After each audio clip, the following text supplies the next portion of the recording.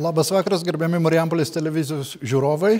Šiandien vėlyvoje tiesioginė mūsų televizijos laidoje, skirtoje rinkimams į savivaldybių tarybas, dalyvauja kandidatai į Marijampolės savivaldybės tarybą. Laidą į lietuvių gestų kalbą verčia Alicija ir Mantas. Laidos žiūrovus kviečiame aktyviai dalyvauti ir užduoti kandidatams klausimus telefonu, elektroniniu paštu arba Marijampolės televizijos Facebook paskyroje. Primenu visiems laidos taisyklės. Kiekvienam atstovui skiriama po dvi minutės pristatyti savo ar komiteto ar partijos programas. Atsakymams į oponentų, mano ar laido žiūrovų užduotus klausimus vieną minutę ir replikai, pabrėžiu replikai, 30 sekundžių. Ir pristatau šio vakaro laidos dalyvius. Eilės tvarka būtų partijos tvarka ir teisingumas, Marijampolės skyrius ir sąrašo lyderė Viktorija Dapkevičinė. Lietuvos valstiečių ir žaliųjų sąjungos Marijampolės skyrius ir sąrašo lyderis Kestutis Mažyka. Marijampolės visuomeninis rinkimų komitetas Šaukiam tautą ir sąrašo lyderis Rolandas Jonikaitis. Lietuvos socialdemokratų partijos Marijampolės skyrius ir sąrašo lyderis Povilas Isoda. Tėvinės sąjungos Lietuvos krikščionių demokratų Marijampolės skyrius ir sąrašo lyderis Kostas Jankauskas. Lietuvos socialdemokratų darbo partijos Marijampolės skyrius ir sąrašo lyderis Kestutis Kubertavičius. Darbo partijos Marijampolės skyrius ir sąrašo lyderis Metas Ražinskas. Visuomeninis rinkimų komitetas už Marijampolės vienybę ir sąrašo lyderis Gediminas Akelaitis. Ir Marijampolės visuomeninis rinkimų komitetas už geresnę ateitį Marijampolėje ir sąrašo lyderis Algis Žvaliauskas. O dabar, kaip priimta gerbėmėjai, 45 sekundės kiekvienam sąrašui pristatyti savo komandą ar išsakyti kažkokias mintis. Prašau, tvarka ir teisingumas. Labas vakaras visiems. Partijos tvarka ir teisingumas kandidatai į tarybą iš skirtingų profesinių sričių. Smulkus verslininkai, finansininkai, ūkininkai, socialiniai darbuotojai, seniūnaičiai, aktyvūs piliečiai. Šiandien su manimi atvyko Žygimantas, ūkininkas, Mindaugas, smulkus verslininkas, Rūta, socialinė darbuotoja, Karolis, kultūros ir sporto vadybininkas, Aušra, konferencijų vadybininkė, mūsų komanda puikiai supranta Mar Mariampoliečių norus ir problemas. Dėkui. Lietuvos valstiečių ir žaliųjų sąjunga ir Kestutis Mažėka, prašom. Ačiū. E, džiaugiuosi pristatydama savo komandą. Tai iš tiesų mūsų e, sąraše yra 50 e, Marijampoliečių ir Marijampolės rajono gyventojų. Sąrašo amžius yra vidurkis apie 40 metų. 48 yra su aukštuoju išsilavinimu, 2 vis dar besimokantys. Drįstu pasidžiaugti, kad tai yra bene labiausiai išsilavinęs sąrašas ir taip pat jauniausias sąrašas. E, pas mus sąraše yra 3 mokslo daktarai, 20 e, verslininkų įvairaus lygmens, 18 e, vadovų, 8 didelių įmonių vadovai. Tai mūsų sąrašas numeris 2. Dėkui. Visuomeninis rinkimų komitetas Šaukiam tautą. Ir Rolandas Jauniukaitis, prašom. Ačiū Jums. Mūsų komanda Šaukiam tautą pristatys Dobilas Inkevičius. Ačiū. E, kas yra komanda Šaukiam tautą, mėly žiūrovai? E, niekam nepaslaptis, e, Nacionaliniu mastu prezidentas Rolandas Paksas yra įkūręs judėjimą, išėjęs iš tvarkos ir teisingumo partijos ir įkūręs didelį tautinį ir svarbiausia viršpartinį judėjimą, kuriame šiuo metu priklauso apie 10 tūkstančių narių. Ir nešimtis yra ir Marijampolėje, įsikūręs yra mūsų komitetas prezidento Rolando Pakso remiamas, kuriame priklauso ir daugiamečiai tvarkos teisingumo lyderiai, ir kitų partijų buvę lyderiai. Ir daug yra apie 50 procentų niekada politiniam partijom nepriklausiusių narių, kurie kovo trečią dieną laimės rinkimus ir dirbs paprastiem Marijampolės žmonėm. Dėkui. Ir socialdemokratų partija bei Povilas Isuda, prašau. Gerbiami žiūrovai, šiandien debatuose kartu su manimi dalyvauja Marijampolės savivaldybės vicemeras Romualdas Makauskas, tarybos narys Darius Kemeraitis, administracijos direktoriaus pavaduotojas Valdas Tumelis, ilgametis Seimo narys Albinas Miturilevičius ir Sudovos gimnazijos direktorius Alvydas Danys. Mūsų sąraše yra 53 įvairių sričių specialistai, įvairiaus amžiaus, įvairių patirčių ir naujų veidų ir jau daug metų Marijampolė ir jo žmonėms dirbančių žmonių.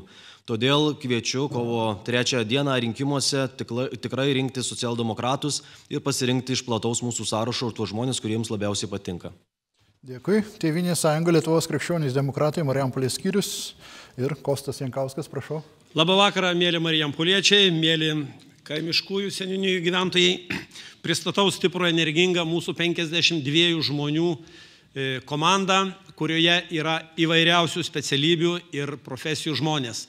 Noriu taip pat pasidžiaugti, kad apart labai stiprių ir profesiškai brandžių žmonių turime ir jauną mūsų Sudovos gimnazijos 12 klasės moksleivių, kuris turi pilną teisę tapti Marijampolės savivaldybės tarybos nariu. Tai noriu pasakyti ir tai, kad mūsų komanda Mūsų komanda įrodys, kad politikoje ir sažiningumo, ir padarumo, ir pilietiškumo tikrai yra daug. Norime tvirtai ir aiškiai pasakyti, kad esame laisvę branginančių, nebeingų žmonių pusėje. Mes matome. Dėkui, laikas baigėsi.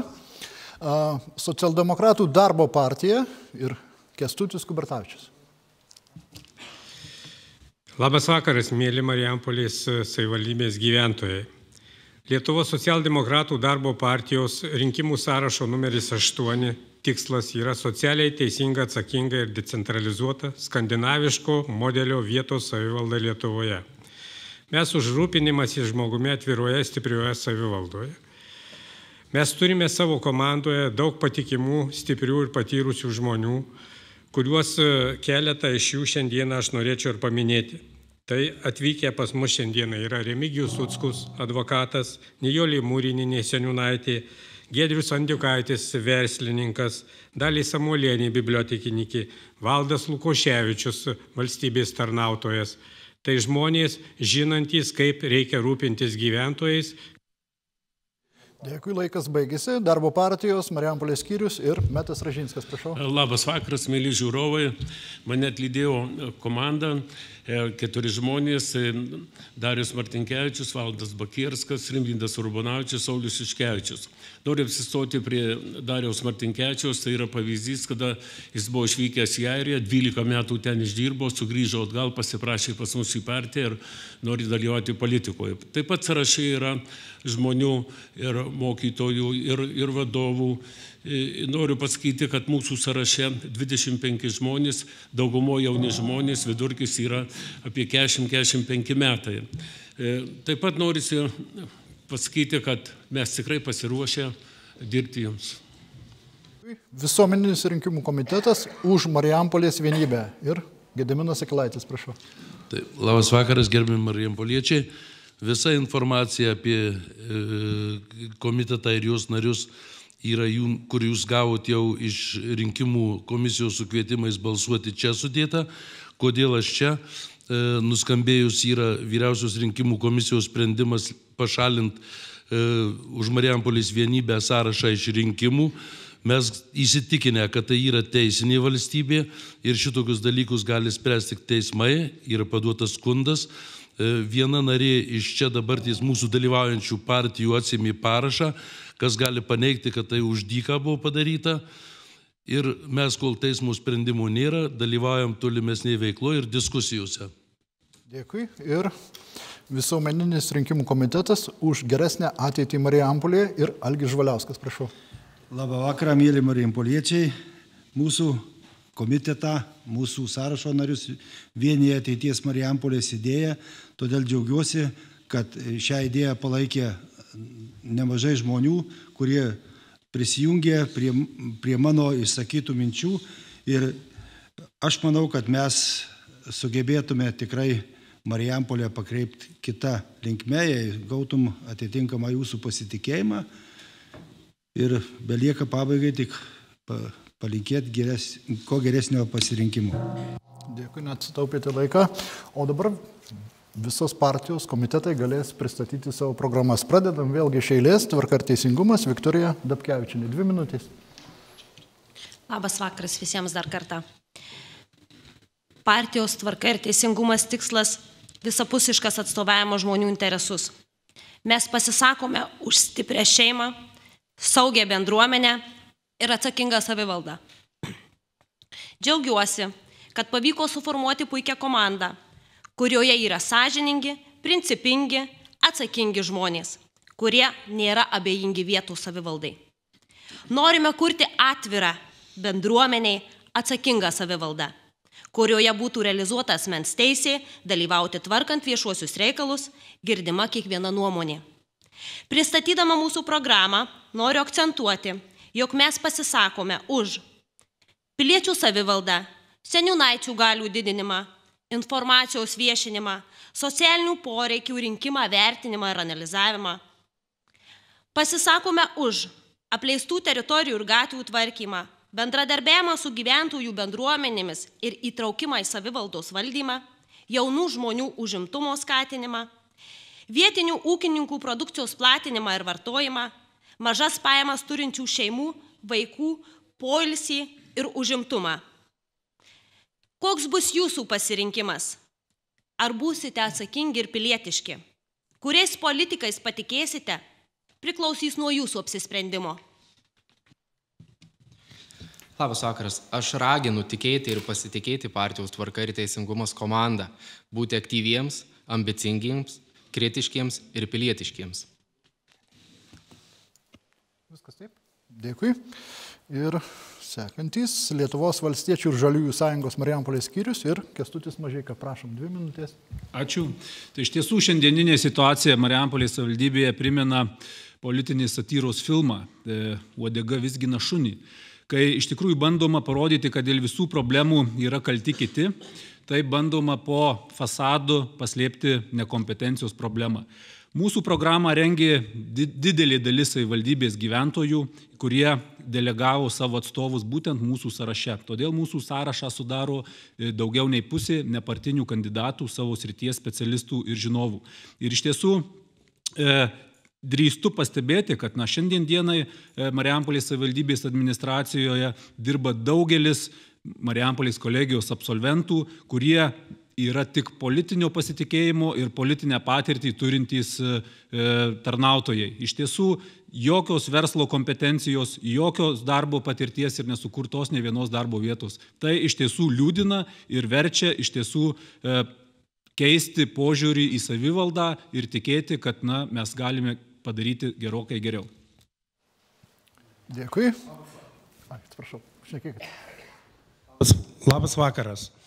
Kadangi programa buvo kurta su daugeliu įvairių specialybių darbuotojas, todėl mes ap, ap, apvažiavome visas švietimo ugdymo įstaigas ir pastebėjome vieną didžiausią problemą. Iki šios dienos e, ugdymo įstaigom lėšas projektus skirstydavo daugiausia du savivaldybės darbuotojai. Todėl esame pasirengę sudaryti planą, kad vadovai galėtų penkiems metams planuotis savo veiklas. Ačiū. Viskas taip, dėkui. Marijampolės visuomeninis rinkimų komitetas, šaukiam tautą, Rolandas Jaunikaitis ir jūsų programa. Ačiū Jum. Mano ir komandos šaukiam tautą programa paruošta atsakingai ir stropiai. Kai visos apžvelgtos mūsų gyvenimo sritis - socialinės, kultūros, sporto, ekonomika, kai kurios nuostatos, kai kuriuom nuostatom mūsų gyventojai, miestiečiai pritarė ir džiaugiasi kai kuriuom nustebę, kai kuriuos šokiravo, o ypač susireikšminusius mūsų Lietuvos politologus. Kai jeigu pavartoji nuostatą, kad žmogui būtų geriau gyventi, jie tai pavadina populizmu. Ar tai tikrai? Dabar pažiūrėkime realiai, kas yra nepopulizmas mūsų Marijampoliai. Prieš daugelį metų Marijampolės įvaldybės valdančioji dauguma su savo satelitais visais išnuomavo šilumos visą mūsų ūkį vienai įstaigai - Litesko. 2003 metais jie sugalvojo, kad reikia įteisinti ir tą sutartį padaryti tokią, kad jos negalima būtų nutraukti, kad galima būtų imti didžiausius neribotus mokesčius, kurie Lietuvoje yra vieni iš didžiausių. Ir jeigu ją nutrauksim anksčiau negu 2025 metai, mes sumokėsim didžiulės baudas. O nutraukę 2025 metais mes ir tai turėsime sumokėti dar apie 2-3 milijonus eurų. Jūs sakysite, prie ko čia seniai įvykiai? Jūs atsiveskite savo šiandien mokėjimo knygutes ir pažiūrėsite, kiek kiekvieną mėnesį jūs sumokate už šildymą. Tai čia mūsų nepopulistiniai, realūs, ūkiški darbai. Pažiūrėkime į Armino vidurinę mokyklą. Prieš dešimt metų per skubėjimą iškrausti vaikus iš dailės mokyklos. Ateis, pa, įsikurs kažkokie tai programos. Nieko neįvyko. Išlaidavom 200 tūkstančių eurų ir pasibaigė mūsų realūs ūkiški darbai. Ačiū Jums. Dėkui. Ir dabar kalbės Povilas Įsuda, Lietuvos socialdemokratų partijos Marijampolės skyriaus lyderis. Mėly Marijampolės savivaldybės žmonės, noriu savo kalbą pradėti nuo padėkos Jums. Ačiū, kad patikėjote mumis, prie, mumis prieš keturis metus ir balsavote. Ačiū, kad e, ir pakartotiniuose rinkimuose vidury kadencijos palaikėte mūsų kandidatę į merus. Mūsų bendro darbo rezultatas e, akivaizdus. Ta pripažįsta ir čia gyvenantys, ir atvykstantys e, svečiai.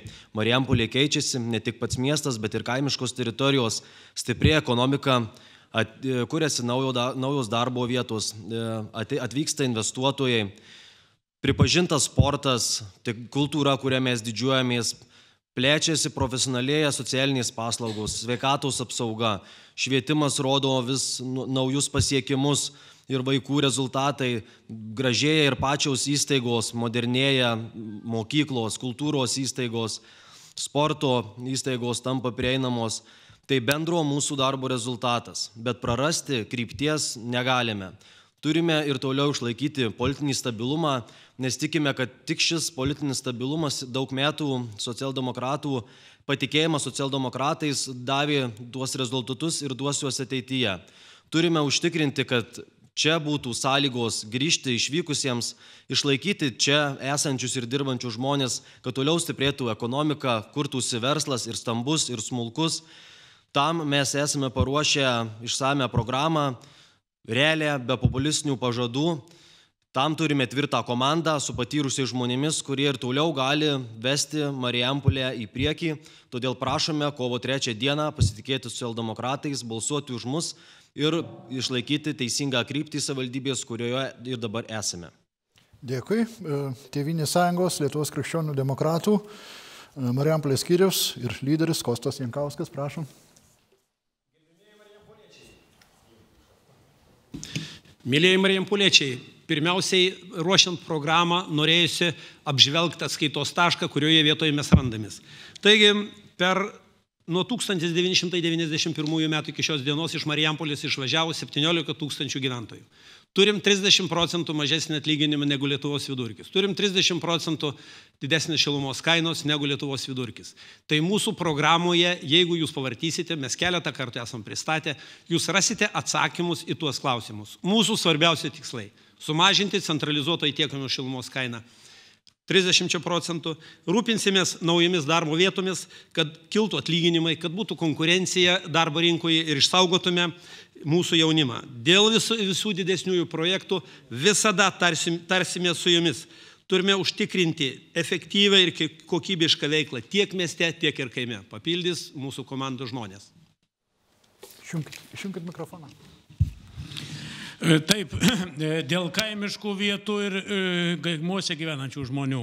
Programai numatome, kad per artimiausius keletą metų, per keturis metus turėtų būti iš esmės išspręstas vandens tiekimas, kadangi apie 20 procentų kaimų vietovių gyventojų nesinaudoja švario vandentiekio vandeniu, dar mažiau valoma nuotekų. E, jau artėja tas laikas, kai e, turi būti sutvarkyti šitie klausimai e, mūsų savivaldybėje. Taip pat transporto reikalai, susisiekimo savaitgaliais su miesto, su centro klausimai taip pat numatyti mūsų programoje. Tikimės įgyvendinti. Viskas taip? Viskas. Dėkui. Lietuvos socialdemokratų darbo partija ir Kestutis Kubertačius. Prašom. Mėly Marijampoliečiai, E, Lietuvos socialdemokratų darbo partija, kurios rinkimų sąrašo numeris yra 8, pasisako ir gina klasikinės socialdemokratinės vertybės, žmogaus teisės ir laisvės, jo įgyvendinimą įprasminant į darbą ir kūrybą, lygias galimybės ir socialinės garantijas visiems, solidarumą bei santaiką visuomenėje. Savivaldybių tarybų rinkimai yra itin reikšmingas žingsnis skatinant ir plėtojant savivaldą kaip demokratinės valstybės pagrindą. Marijampolės savivaldybėje savivaldos institucijos veikla turi būti nukreipta į vietos ekonomikos stiprinimą, aktyvų investicijų pritraukimą ir konkurencingų sąlygų darbo vietų kūrimui sudarimą. Suprantame, kad būtent ekonomika yra tas pagrindinis variklis, kuris, kuris leidžia visuomeniai vystytis į priekį ir atsiradus darbo vietoms žmonės niekada neišvažiuos iš Marijampolės, o priešingai į ją sugrįž. Todėl mes aktyviai remsime verslo plėtrą, pritrauksime investuotojus, verslo atstovus, skatinsime kurti darbo vietas per įvairias rėmimo programas ir finansinę paramą, skatinsime smulkų ir vidutinį verslą didelį dėmesį skiriant šeimos verslų stiprinimui. Taip pat lengvinsime verslo pradžios ir pabaigos procesų reguliavimą statybų leidimų prisijungimo prie elektros šilumos dujų vandentiekio nuoteko tinklų leidimų išdavimą. Spartinsime pastatų atnaujinimo projektus, kompleksinį kvartalų viešųjų erdvių sutvarkymą, bei taip, taip pat subalansuotai spręsime kaimo ir miesto e, plėtros infrastruktūros vystymą. Tolimiau apie mūsų programos e, testinumą pasisakys mano e, kolega Prašom, jungit, jungit, kalbėkit, ar nelspėsit. E, norėdamas papildyti mūsų sąrašo lyderį, aš norėčiau konkrečiau pateikti mūsų siūlymus būsimai tarybai. Tai visų pirma, nedėlisant atlikti nepriklausomą savivaldybės finansų auditą. Antras darbas tai būtų savivaldybės administracijoje numatytų pareigybių ir joms priskirtų funkcijų nepriklausomą auditą. Gaila, nesuspėjote. E, darbo partijos Marijampolės skyrius ir lyderis Metas Ražinskas. Prašau, dvi minutės. Dar kartą labas vakaras. E, mūsų programa orientuota yra į konkrečius darbus, e, tos, kuriuos reikia padaryti Marijampolėje. Darbo partija visą laiką prisidėjo prie šių darbų, būdama taryboje, dirbdamas aš administracijos direktoriumi ir matau tas problemas. Pirmą palaikau kolegos pasisakymą, kad ką reikia padaryti, tai atlikti finansinį auditą, nes nustatyti reikia įskolinimus, sudaryti skolų gražinimo grafiką, ko, ko nėra iki dabar. Antra, sudaryti sąlygas pritraukti investicijas. Ir tik investicijos tiek mieste, tiek kaime bus sukurtos darbo vietos ir tada, e, kaip sakyt, lauksime sugrįžtant e, iš išvažiavusių šeimų. E, kad sugrįžtų išvažiavusios šeimos turi būti užtikrinta švietimo sistemos veikla. Mes matom tikrai, kad trūksta vietų darželiuose. Mes norime remti trečio amžiaus universiteto, ypatingai kolegijos veiklą, kad sugrįžę mūsų studentai turėtų kur mokytis. Taip pat galvojame organizuoti magistralinės gatvės, vasaros gatvės perdavimą susiekimo ministeriją, kur matom, kokia gatvė dabar yra ir, ir jau visiškai netinka, netinka reikalavimų. Jie juda transportas, kur turėtų prižiūrėti tą gatvę susiekimo ministerija. Taip pat ypatingą dėmesį skirsime socialinio aprūpinimo srityje. Mūsų prioritetas, kaip minėjau, jaunos šeimos, e, e, seniorai, vieniši vyresnio amžiaus žmonės. Skatinsime sportinę veiklą, organizuosim krepšinio eno statybą ir numatome rekonstruoti ir išplėsti Marijampolės e, sporto mokyklos baseiną. Dėkui. Gerbiami kandidatai, norėčiau padaryti pastabą. Ne tarybos posėdis, nekomentuokite, duokit žmogui kalbėti. Ir dabar pasisakys visuomeninis rinkimų komitetas už Marijampolės vienybę ir Gediminas Akelaitis, prašau. Gerbėmėjai, 14 sąrašo numerių už Marijampolės vienybę pateikta programa, dar kartą parodysiu, yra išplatinta jum, tai yra realistinė, kasdien matoma. Mes suprantam, kad ne tik tai miesto centrų gyva savivaldybė, mes matom reikalingą kiemų, į kiemus, į šaligatvius, įvažiavimus problemų sprendimas. Kaimuos per 300 metų paskendę yra e, žvirkeliai, ten važinėja geltonieji autobusiukai jie laužomi, vaikų nesaugumas, papildomos išlaidos. Mes suprantam, kad rusiškos kapitalinės vėžės geležinkelio remontas kapitalinis tai yra Nereal Baltica. Mes matom į priekį, kad vis dėlto ES pareikalaus ir jeigu mūsų Lietuvos vyriausybė tęs pagal bendrą planą esantį Lietuvos ir savivaldybės, turės būti baraginės e, krovinių perkrovimos stotis. Tas sukurs naujas dar papildomas darbo vietas kad įsikurtų čia jaunimas. Jau nuo rugsėjo pirmos reikia iš darželių, lopšelių iškelt klases į mokyklas, kur mokyklose vietos yra daug, o vaikučių jau yra eilės, tai yra konkretūs, greiti, skubus darbai. Toliau komunalinis ūkis, tai yra, aš turiu galvoje, atliekų surinkimas, kad nekiltų kaina gyventojams. Mes turim dėti visas pastangas, perimti matsas, penkios savivaldybės, atliekų rūšiavimo gamyklą, tai yra mūsų pinigai, mūsų turtas, gyventojų ten mokesčių mokėtojai. Negali būti jokios įsileistas privatininkas, kuris ieškos tik tai naudos ir didys mokesčius. Dėl visų kitų komunalinių reikalų turi daugiau būti reguliuojama iš savivaldybės, nes tai tiesiogiai atsiliepia pensininkam, vaikam ir čia gyvenantiem. Dėkui. Ir visuomeninis rinkimų komitetas už geresnę ateitį Marijampolė ir lyderis Algis Žvaliauskas, prašau. Gerbiami Marijampoliečiai, prisipažinsiu Jums, man programą buvo labai lengva rašyti, kadangi rašiau vienas ir ją pradėjau rašyti 93 metų rugsėjo 23 dieną, kai pirmų kartų buvau išrinktas meru. O po to ta programa tik tęsiasi, pasipildo, kai kas įgyvendinama, kai kas ne visai. Tai dėl to Man, kadangi turbūt paskutinį kartą dalyvauju rinkimuose, beliko tik tais e, parašyti tą baigiamąją dalį su perspektyva, ko reiktų Marijampolį, kad mes gerai gyventum po 10, po 20, dar po daugiau metų. Tai gavosi penki tokie punktai, e, gal idėjos penkios, tai pirmiausia, efektyvus savivaldybės valdymas, vienareikšmiai, būtina, laikai keičiasi Tikėkime, kad partijos susitars, kurios bus valdžioj. Toliau, piliečių poreikius atitinkantis švietimo, kultūros ir sporto įstaigų tinklas. Žmonių, kuriems reikalinga socialinė parama, poreikius tenkinančios socialinės įstaigos. Piliečių judumą užtikrinanti moderni transporto infrastruktūra. Klestintis ir kuriantis gerai apmokamas darbo vietas verslas. Štai čia yra Pagrindiniai penki kertiniai akmenys, ant kurių turėtų laikytis visa mūsų ateitis, visi mūsų pagrindiniai darbai ir tikiuosi, kad e, jeigu teks dirbti, reiškia taryboje ateinančioje, tai visi kolegos, kurių turbūt dauguma bus tarybos nariais čia esančių, tam pritars Ir tas visas kasdieninius darbus, tas visas smulkmenas, kur ypač skauda žmonėms, mes galim įterpti tarp šitų pagrindinių dalykų ir viską tvarkingai toliau gyventi.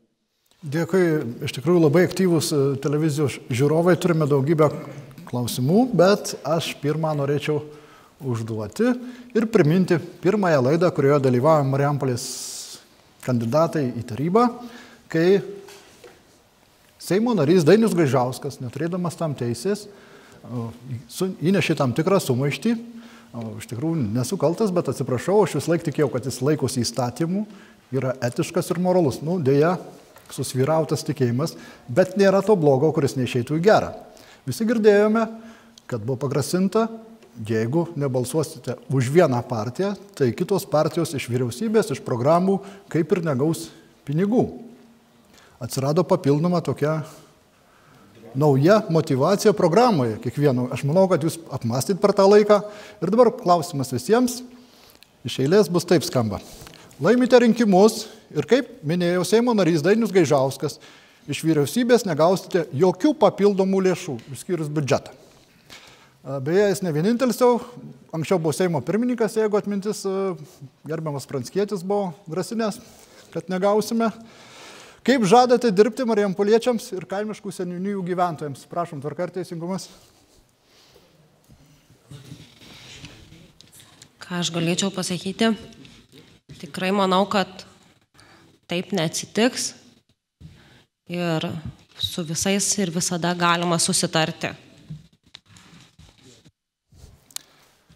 Prašom, Kestutis. Ačiū, tai iš tiesų pataisysiu Jūs, nes, na, kolega turbūt matė paskutinę savivaldybės tarybos ir administracijos ataskaitą, kur iš tiesų du trečdaliai lėšų buvo e, projektuojama, kad bus gauta iš biudžeto, tai yra iš vyriausybės ir valstybės investicijų programos. Tai turbūt tas klausimas yra natūralus ir labai vieto ir korektiškas. Ir aš manau, kad ta situacija, kuri šiandien yra savivaldybė, kai mes turime raudonuoti dėl korupcijos, nepotizmo, partinių įvairių ryšių, nekompetencijos ryšio paminėti, turbūt ir suponuoja į tai, kad iš tiesų, jeigu reikės dirbti taip ir toliau, tai vyriausybė, manau, tikrai mūsų savivaldybei uždės papildomų saugiklių. Tai prašau, Rolandas jau. Ačiū Jums. Pristatys šį klausimą Paulius Uleckas. Prašau. Labas vakarėlis. Na, nuo 90 metų daugiau mažiau su savivalda turiu reikaliukų ir labai daug girdėjęs tokių gazdinimų. Neik, nedaryk, ne ta valdžia Vilniui, ne ta Marijampolė ir žodžiu nieko nebus. Tai 30 metų praėjau tų baubų gazdinimų ir viskas vyksta, gyvenimas juda į priekį, miestai statosi, Marijampolė gražėja. Nu nieko nėra amžinau, viskas šaunu ten, žalieji, mėlynėje, raudonieji bus, nu netikiu, kad tenai taip jau nesusitarsim šiais laikais ir teisinėm, ir, ir, ir galų gale mes vyrai. Išjungkite, Pauliu. Norėčiau labai užbaigti tokia labai tapusių kalambūrų Lietuvoje. Laisvoje ekonominiai zonoje mes e, prišaukėm investuotoje, tai paskui nepasidalina. Premjer, ar tai tą investuotoją pašaukė Butkevičius, ar Skvernelis, ar ponas Visoda. Ir niekas nežinom. Tai gal Marijampolės savivaldybės taryba? Dėkui ir e, Povilas Įsoda, prašau. Kadangi man teko ir su tuo Seimo pirmininku kalbėtis, kaip jis čia vieną kartą kalbėjo, tai aš sakau ir tada ir dabar aš sakau. Ne visi tie Seimo nariai ir vyriausybės žmonės yra tokie gazinantys kaip mūsų Seimo nariai čia vietoje rinkti. Yra normalų žmonės, kurie rūpinasi valstybė ir supranta visus valstybės interesus ir čia nereikia nieko gazdinti. Čia tie, žinot, nepotizmai, tos korupcijos, nu čia tokie priešrinkiminiai populistiniai išnektos, o normalūs interesai, kur yra, kur yra tie investuotojai, buvo ir investuok Lietuva, ir vyriausybė, ir savivaldybė, visi dirbo ranko rankon ir padarė darbą. Tai aš tikiu, kad ir šitoje vyriausybėje, ir šitam Seime yra pakankamai, netikiu, o žinau, nes daugelį daug pažįstų žmonių ten dirbančių, yra tikrai sveiko protų žmonių, kurie darys valstybė ir savivaldybė reikalingus darbus, nepaisant to, kas čia bus valdžioj. Nes tokie, to, to mes čia visi ateinam. Dėkui, Kostas Jankauskas. Mėlyjei Marijampoliečiai, jūs dar nesumigote ten už ekrano. Jeigu nesumigote, noriu pasakyti, kad viską dirbsime, tvarkysime ūkiškai ir visa, kas priklauso Marijampoliai, bus atnešta ir e, įdėkta tiek, kiek ir įsisavinta tiek, kiek mums priklauso ir turi būti skirti. Va tom rankom ir, ir tais dantėmis viską iškovosime dėl jūsų, dėl Marijampoliečių. Prašau papildyti. Išjungkit. Ops. Tai aš tik norėčiau pastebėti, kad na, gerbiamas Seimo narys Dainius Gaižauskas eilinį kartą e, plepa nesąmonės, e, todėl kad e, nei jis kažką atneša, nei jis kažką padaro Mariampoliai. Tai yra vyriausybė, tai yra planai, tai yra strateginiai dalykai. Kitas labai svarbus dalykas, na, šitai valstiečių žaliųjų valdžiai liko pusantrų metų. 20 metais keisis ir vyriausybė, keisis ir valdžia. Kai Tevinė sąjunga buvo valdžioje, Mariampolė gavo ir naujus autobusus, ir lezą pradėjom, ir sankryžom buvo skirti pinigai. Dėkui.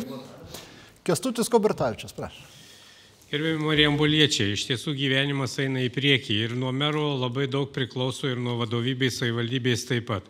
Nuo asmeninių įgūdžių, patirties, profesionalumo ir sugebėjimo bendrauti su centrinė valdžia. Ir šitoj vietoje visada galima rasti kalbą, iš tiesų yra valstybinis požiūris, yra savivaldybė ir e, aš manau, kad e, visuomet tie sprendimai gali būti randami. Mano mintį prates kolega Remigijus Utskus. Na, iš tikrųjų, pratesdamas tą mintį, aš noriu pasakyti, kad daug metų pažįstu Dainių Gaižauską, žinant jo būdą, galbūt jisai pasikaršiavo e, su savo komentaru. Jeigu ne tai, tada, na, iš tikrųjų liūdnoka, kadangi aš išvelčiau tam tikrį netgi, na, politinio šantažo apraiškų šitame visame. Tai nesvarbu, reikia jam priminti, kad iš tikrųjų jis išrinktas vienmandatinė rinkiminė apygardoje mūsų žmonių, taip kaip rinks ir mus, ir jo Seimo kaip nario Seimo pareiga e, atstovauti savo regioną, nesvarbu, kas bus taryboje ir kas turės daugumą ir kas bus meru. Dėkui, Metas Ražinskas. Aš manau, kad ponas Gaižauskas tikrai nepamatuotai pakalbėjo, nes nu, negaižausko pinigai ir negaižausko valstybė. Tai yra demokratinė valstybė, kur veikia įstatymai, kur reikia ir priklauso, kas priklauso atiduota, turi būti deleguotom funkcijom, kitiems dalykams ir negalima taip sakyti, kad va, duosim ar neduosim. Taigi yra įstatymai, juos reikia vadovautis. Aš manau, kad jis nepamatuotai pakalbėjo ir gaila, kad Seimo narys taip kalba ir dalyvauja kituose susitikimuose ir daro spaudimą mums. Dėkui. Gediminas Akilaitis. Taip, gerim, man tai juokas, Sima, niekad nereikia nieko bijot. Reikia žinot savo teisės, už tai kovot. Aš galvoju, kad mes suduvę esam darbštus, yra konstitucija, yra įstatymai, yra galų gale mes Europos Sąjungoje ir joks šantažas mums neturi turėti jokio poveikio. Jau kai kurie dabartys kandidatuojantis į prezidentus, veikianti prezidentė, matot, kad retoriką nuleido, nes kadencija baigėsi. Galvoju, kad tas karštumas praeis prieš po savivaldos rinkimų ir Seimo nariam praeis tas karštis, nes reikės galvoti apie naujus Seimo rinkimus. E, nematau aš jokių problemų kalbėti su kiekvienu, kuris supranta, kuris girdi. Žinoma, su kurčiais, kurie tik save girdi, su tais neina kalbėti. Dėkui. Algi Žvaliauskas. Na, žinot, gerbėmieji, jeigu tik visos tokios bėdos būtų Marijampolė, tai aš būdamas meru su jom puikiausiai susitvarkyčiau. Nesvarbu, kas ten žalieji, mėlynieji, raudonieji, konservatoriai, valstiečiai ir kas bus. Kadangi beveik visus pažįstu asmeniškai. Ar nebus į korupciniai ryšiai? Kaip supratau, politikai nebijo to grasinimo, manau, kad neįsigas ir rinkėjai. O dabar keletą klausimų. Pradėkime nuo Kosto Jankausko.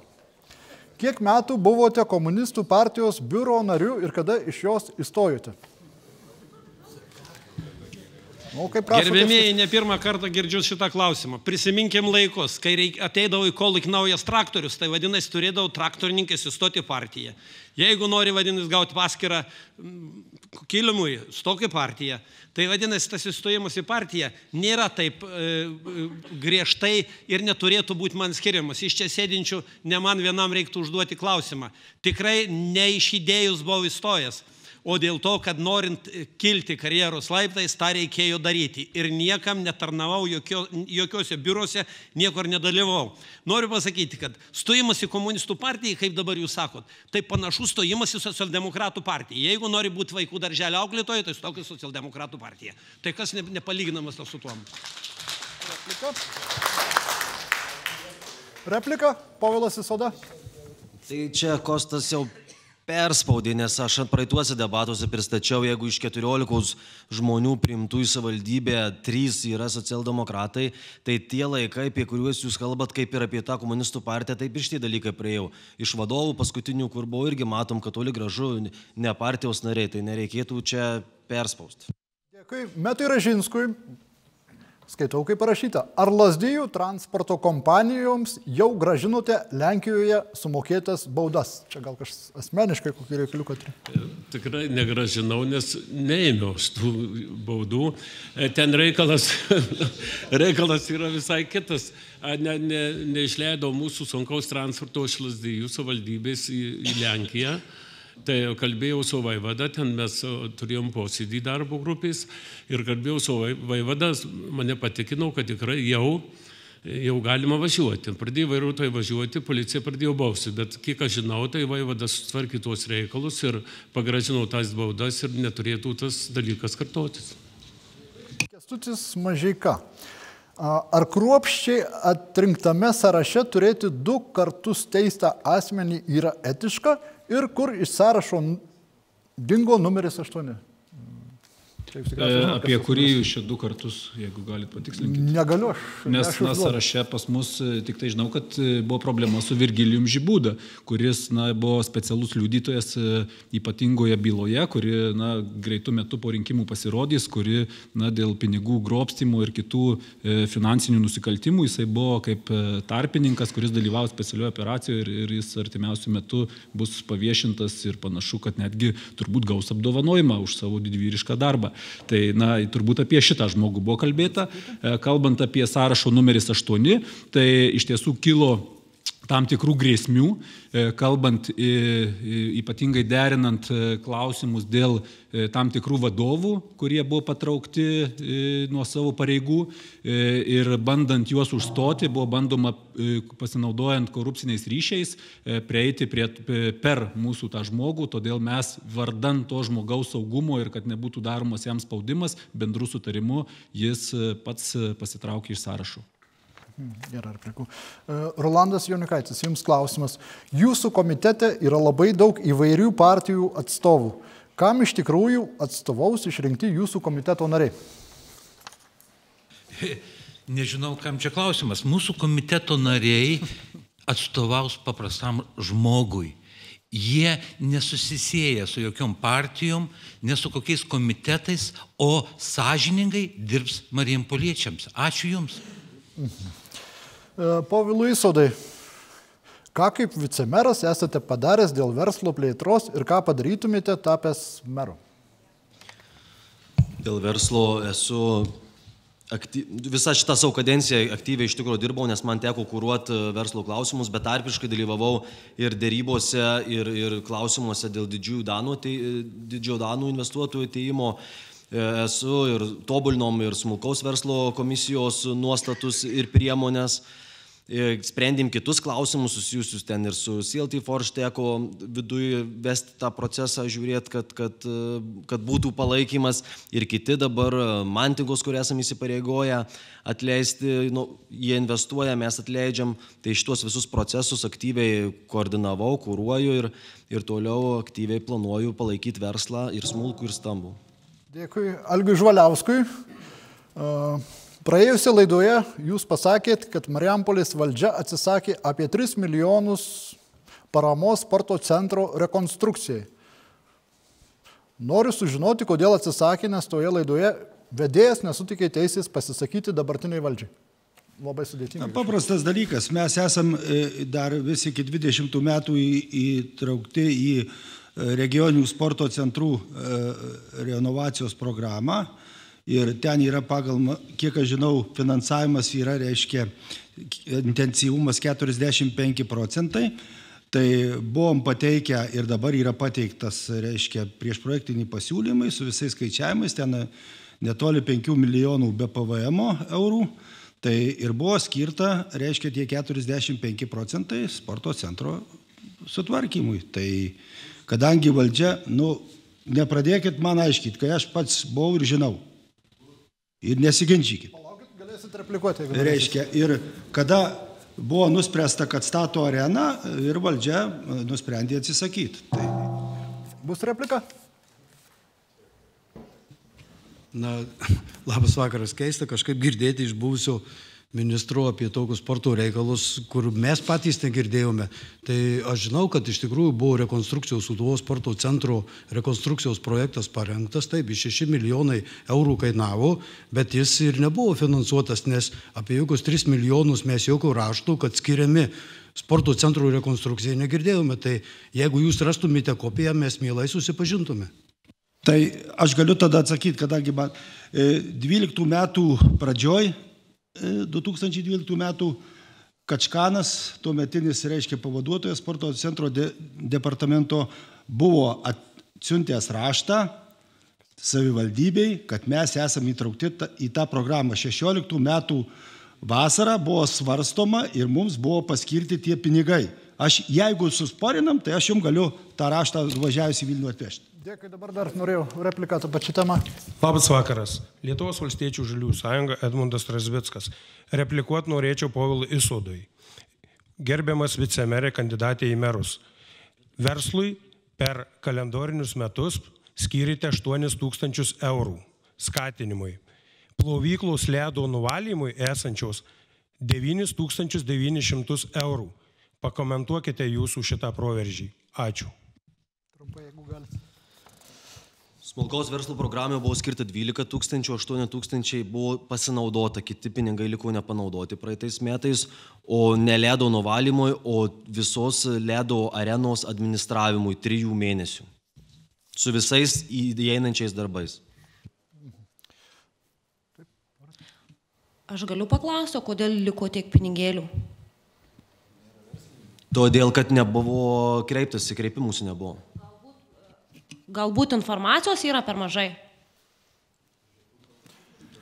Informacija buvo daug kartų skelbiama, net ir televizijoje buvę reportažų, ir tinklapį, ir Facebook'e, ir per asocijuotas struktūras. Supratau. Prašau dar. Iš tikrųjų, šita programa turi vieną didelę e, problemą, tai yra verslo paramos. Jos taisyklės nėra pritaikytos ir nėra lankščios, yra daugybė pribojimų. Pavyzdžiui, kai buvo problema metų gale su namų restoranu, jaunas verslas negalėjo pasinaudoti. Ką mes siūlom, mes siūlom truputį atlaisvinti šitus varštus, padaryti lankstesnę programą ir tikrai būtų galima 12 tūkstančių labai laisvai išnaudoti būtent tokiem jauniem, naujiem verslam. Dar vieną kartelę. Aš labai trumpai, tik tai mes prieš e, nepilnus du metus atnaujinom tas priemonės. Tai gaila, kad tada nei, iš tikrųjų nei asociuotų struktūros verslo, nu, išskyrus verslę Lietuvą, iš tikrųjų turim šaunę atstovę verslios Lietuvos, kuri tikrai daug pateikė pasiūlymų, bet ir iš tarybos narių nesulaukėm jokių pasiūlymų ir iš, ir iš verslo asociuotų struktūrų čia vietinių tikrai tų pasiūlymų trūko, bet aš tikrai sutinku, kad ta programa ir mūsų programa jinai, yra, jinai tikrai bus aktualizuota pagal po rinkimų, pagal reikia pažiūrėti, padaryti tyrimus ir tikrai aktualizuoti pagal poreikius. Dėkui. O dabar socialdemokratų darbo partijos nariu gerbiamam Utskui klausimėlis toks, ko siektumėte tapęs tarybos nariu? Ačiū už klausimą. Na, iš tikrųjų, klausimas labai turbūt platus. E, Kaip tarybos nariui, na, aš jau truputį pradėjau atsakyti šį klausimą. Pristatant mūsų programą, tai pasikartosiu, kad pirmas darbas tai būtų nepriklausomos valdybės finansų auditas siekiant e, įvardinti realias galimybės atskiriems projektams finansuoti, tiek ir finansinės grėsmės. Iš tarp finansinių grėsmių tai pagrindinį dalyką matau įsisenėjusią ir didžiulę savivaldybės skolą. Iš tikrųjų ir e, šių metų biudžete numatyta didžiulė, sakykime, pinigų suma virš milijono 350 tūkstančių gražinti skolą su palūkanomis, tai turbūt sudaro apie 3 procentus viso metinio savivaldybės biudžeto. Tai turbūt nėra gerai. E, kitas dalykas, tai kaip minėjau, savivaldybės administracijos numatytų pareigybių joms priskirtų funkcijų auditas, manau, galima būtų optimizuoti. Smulkaus vidutinio verslo skatinimas, siūlyčiau grįžtantiems iš emigracijos ir kuriantiems naują verslą, taip pat naujai kuriantiems verslą, e, suteikti mokestinės lengvatas, bent tris metus atleisti nuo visų savivaldybės administruojamų mokesčių ir taip. Dėkui. Labai trumpai. Nu, klausykit, mėlyjei, baigim čia spekulacijas dėl tų grįžtančių. Tai čia reiškia, kurie neišvažiavo, kur liko, tai jie nieko verti, jie gali kentėti ir toliau. O tie išvažiavo, ten nerado, ko tikėjosi grįžta ir jau mes šiem paklokėm raudoną kilimą ir viskas. Tai ką šitie žmonės, kurie dirba už minimumą kiti? Dėkui, tai mes supratom, juos žiūrėkim daug. Supratom, Gediminas Akilaitis. Visi žada, kad Marijampolės ligoniai bus, tame tarp ir jūs, magnetinio rezonanso tomografas, kažkokias stebuklingas prietaisas. Kada jis bus? Jūs irgi žadate. Tai, tai yra visiškai nestebuklingas, tai yra šių laikų reikalavimas, kad nereikėtų žmonėms važinėti ir eilėse stovėti mėnesių mėnesiais druskinikos Kaune ar Vilniui, tai yra būtinas poreikis. E, dėl buvimo yra žinių, kad patalpų mes turim, visas korpusas stovi tuščias, e, reikia tik tai kalbėti su investuotojais, kurie gali pastatyti šitą, žinoma, turėtų dasidėti ir ministerija, nes ligoninė bus, reiškia, pajėgi vieną įsigyti. Dėl ko aš tą kalbu? Šiandien su verslininkais buvo, esant, kalbėjom, mūsų gydymo lygis ir diagnostikos Marijampolį dar yra palyginus aukštas. Aš gavau prieš savaitę laiko trijų studentų konsultacijas ir konsultavo universitetinėse ligonėse. Ar mes to norim? Dėkui. Ir dabar Viktorija Dobkevičiūtė, jūs... Atsiprašau. Tai iš tikrųjų aš norėčiau replikuoti Arminas Maskevičius, Lietuvos valstiečių žaliųjų sąjunga gerbiamam Gedamino Akelaičiui, e, kad Marijampolė ligonė iš tikrųjų nėra labai geroj pozicijoje, nes neveikia ir efektyvus valdymas, lean metodai ne, nepritaikyti ir mes, kad ir galėtume būti e, būtent dėl sanarių mokymo bazė, bet e, ji neišnaudojo šitos padėties. Nu, replikuokit. Ne, aš priverstas.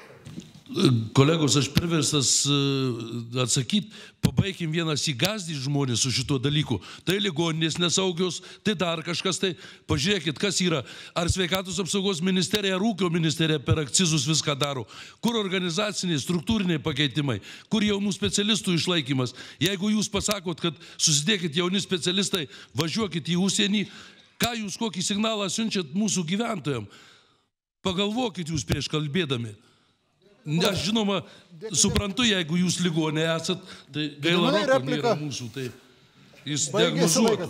Uh, prašau, socialdemokratai. Noriu informaciją pateikti, kad visi geriau žinotumėte ir siūlau trupučiuką plačiau žvelgti ir, ir klausytis, kas kur darosi Marijampolės savivaldybėje, kai kandidatuojate į merus ar į tarybą.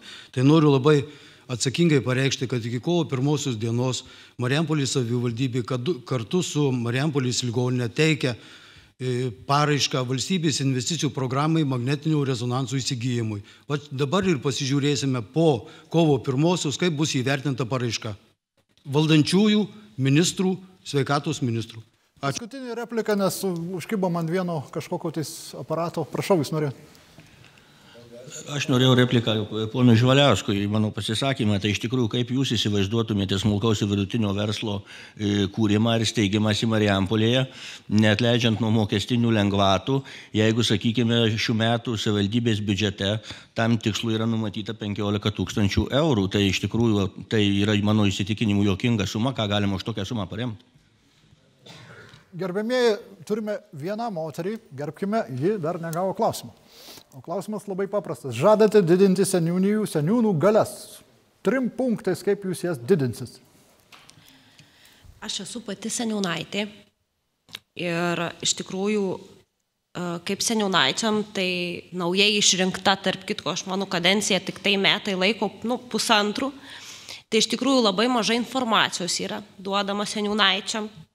Uh, apskritai seniūnaitis tai gaunasi toks kaip e, žmogus, kuris e, e, vykdo kažkieno paliepimus, bet jo nieks neklauso. Jo jo bendruomenės nieks neklauso, jo jo pačio nieks neklauso. Todėl aš norėčiau, kad seniūnaičiai turėtų daugiau galių ir Tai seniū, seniūnaitis, seniūnaitis Viena ir sistema. galėtų priimti planavimo, te, teritorijų planavimo sprendimus. Um, Kad gerai. žinotų, kas vyksta jų jų seniūnaitijoje tiesiog, nes dabar statom visi, kas ką norim. Prašau. Kestutis Kubartačius, gerai trumpai.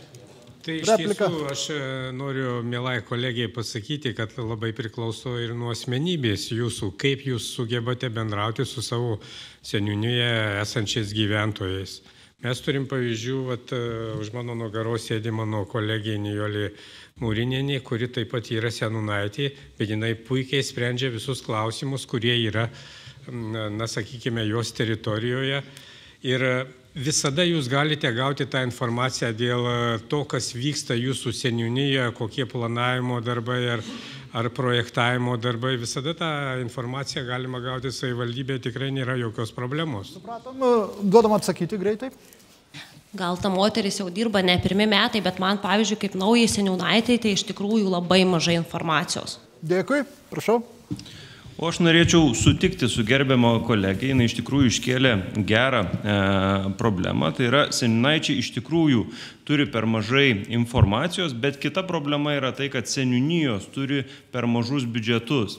E, jos negali pačios nei kažko tvarkyti, nei labai e, nei labai e, priimti didelių sprendimų kartu su seninaičių suigom. Ta reikėtų keisti, tiesiog biudžete numatant didesnės lėšas. Dėkui, Kestutis Mažėka. Taip, kalbant apie seniūnijas, tai turbūt problema yra pas mus Mariampolis vildybė keletas problemų.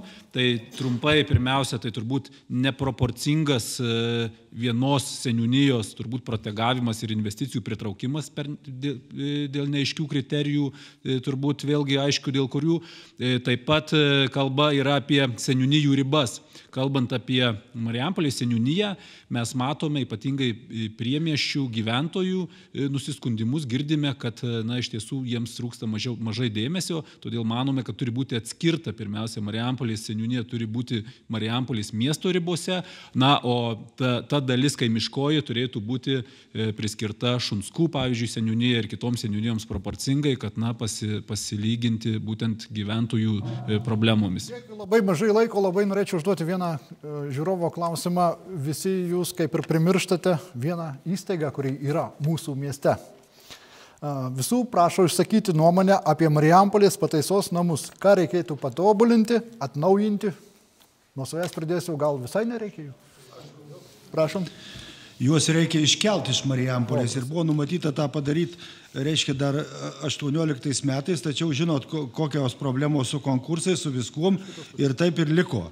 Ir aš jau esu sakęs savo programui, dėl ko aš siūlau, kad sutvarkyti sporto centrą dabartinį, kadangi ten, žinau tikrai, vietoj e, e tų pataisos namų toje teritorijoje numatyti ten e, įvairūs kiti objektai, tame tarp ir sporto, ir aš manau, kad reiktų tos pozicijos ir laikyti. Gediminas Sakalaitis, prašau. Labai trumpai į valstybės politiką, tuo labiau į, kas, kam priklauso Teisingumo ministerijai, savivalda neturi teisės jokios kištis. O kitą dalyką aš turėčiau galvoj, naftos bazė, kada stovi Dariaus Girėnų kvartalė, kad jį, ją savo laiku reikia iškelt, bet ji yra privati.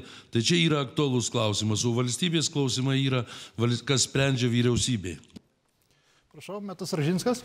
Jo, miesto bendrajam plane yra numatyta kalėjimo iškėlimas.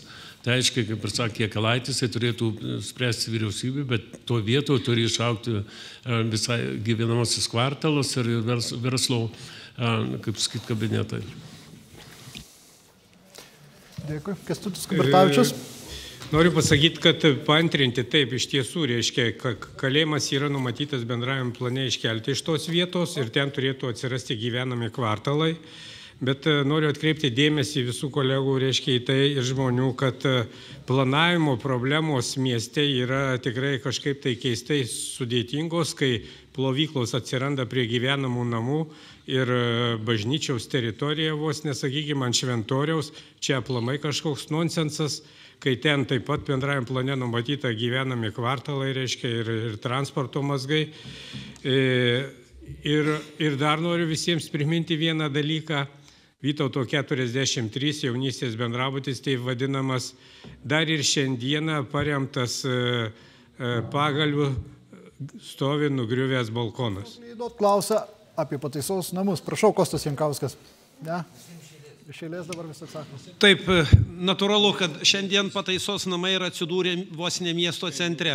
Ir ta kaiminystė gyvenamų namų kvartalui turbūt e, tokios ramybės ir, ir, ir vizualinių pasitenkinimo neduoda.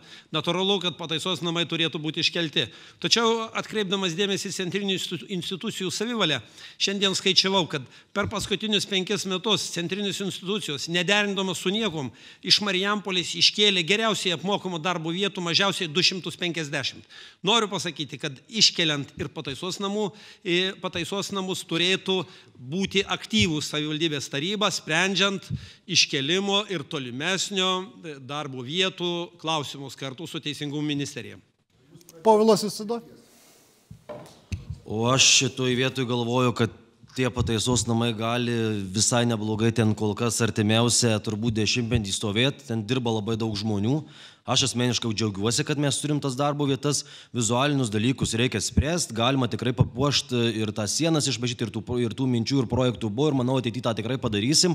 O ten tas kalėjimas gali būti, da, kaip tik jį reikia investuoti, pritraukti pinigus, padaryti kamerinį tipo, išnaudoti tik tą teritoriją, kurios jos reikia, o visą kitą urbanizuoti, pritaikyti visuomenės Marijampolės poreikiams. Dėkui, Orlandas Jaunikaitis. Ačiū. Ačiū. Gerbimi Marijampoliečiai, pataisos namai yra įaugę į Marijampolės infrastruktūrą. Politikai numatė bendram plane iškelti, bet niekas nepagalvojo, kad ten yra 300 darbo vietų. Gal dar viena tenais yra vietos, dasistatykim. Aš girdėjau neseniai tokį reportažą iš Kibarto, kai ten jo sunaikino ir Kibartos atleidžiami žmonės, viskas pranyksta, todėl niekas negalvojate apie darbo vietas. Visi bėdavojate, kad išvažiuoja visos įstaigos, o dabar patys sakot, iškelkim, išveškim ir panaikinkim, tegu pasilieka ir tegu būna darbo vietos. Dėkui, Kestutis Mačiaika. Taip, taip, pataisos namai ne tik darbo vietos, bet ir galimybė, kur e, Marijampolės e, rajono ūkininkai galėtų teikti maisto produktus, užaugintą savo produkciją, tai vėlgi vadovaujantis trumposios maisto grandinės principų, būtent užsidirbti ir prisidurti prie savo veiklos, o prates kolegė Agnė. Aš norėčiau replikuoti, kad jūs visi taip ir neatsakėte į tą klausimą, jūs kalbate apie vizualinį kontekstą, bet jūs nepamirškit ir ten esančių asmenų reikėtų atkreipti dėmesį į rehabilitacinės programas, į integravimas į visuomenę, kaip asmuo išeis po to ir ką jis išėjęs darys. Nes noriu priminti, aš esu toj veikloj, aš ten dirbu, vykdo mokymus ir noriu priminti, kad ten asmenys yra ne vieną ar ne du kartus teisti, tai mažinkit nusikalstamumą, o paskui galvokit apie tą vizualinę reikšmę. Dėkui. Viktorija Dabke, Dabkevičinė. Sakys kolega Žygimantas. A, Visi kalbat, kad e, bus iškeliamas kalėjimas, bet e, tokių lėšų tikrai, tikrai, manau, mūsų valstybėje nėra, kad jį galėtų iškelt. Tik tai iškyla, dar labai vienas įdomus klausimas. E, Kalėjimas tikrai nebus iškeliamas, bet kodėl yra įrenginėjamos kamerų tipo patalpos? Investuojama daug pinigų į tai. Atsakykit, atsakykit, atsakykit. O kad kalėjimas čia yra, tai faktas, yra gerai Marijampoliai. Tai yra daug darbo vietų ir Dėkui. Ramybės, gerbimieji, laida baigėsi. Dėkoju gerbimiems žiūrovams. Daug klausimų buvo. Deja, reglamentas šios laidos yra toks, koks yra. Tikrai pažadu panaudoti per merų debatus, kurie vyks kitą penktadienį, šį penktadienį irgi vėlokai. Ir aš tikrai pažadu, kad jie bus panaudoti. Gerbiami kandidatai, ar jūs atkreipėte dėmesį, kad prieš kelias dienas mes įžengėm į naują antrąjį valstybės šimtmetį. Ir kaip simboliška, kad pirmieji vyksta savivaldos rinkimai. Pati svarbiausia grandinė, kuri arčiausia žmogaus. Todėl linkiu Marijampoliečiams ir kaimiškų seninių gyventojams įdėmiai įsigilinti į programas, kandidatams, e, lyderiams jų, linkiu jas kuo plačiau paskleisti ir pasirinkti pirmą šiame šimtmetyje tikrą valdžią. Dėkui politikams, visiems ramaus vakaro.